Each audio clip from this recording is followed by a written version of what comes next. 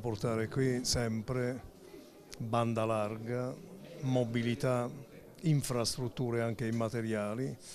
Il nostro obiettivo regionale è di avere uno sviluppo equilibrato di tutto il territorio della regione. Non possiamo più avere la tendenza del passato, congestione sulla fascia costiera, desertificazione nell'area interna. Dobbiamo creare qui le condizioni per lo sviluppo. Sapete che abbiamo qualche giorno fa presentato un programma di investimenti sulla viabilità che riguarda l'Irpinia per 214 milioni, dunque stiamo facendo credo un buon lavoro per tutta l'Irpinia.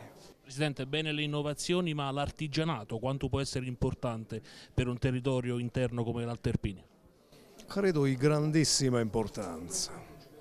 Ovviamente dobbiamo legarci sempre a produzioni di qualità, ma credo che ci sia un mercato molto forte per un artigianato di qualità.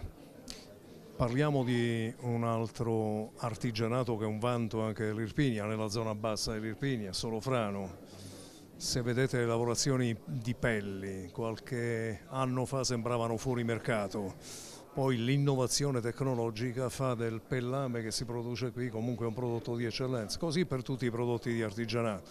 Ovviamente se parliamo poi di agroalimentare, beh qui veramente possiamo vantare cose straordinarie. Rafael Epifani da Avellino, eh, suo ex anche compagno di partito, ha detto da De Luca solo annunci, parlava di ex Irisbus ma non solo, diceva solo milioni ma poi non si vede nulla di concreto. Ah, ah, ah, ah, così ha detto.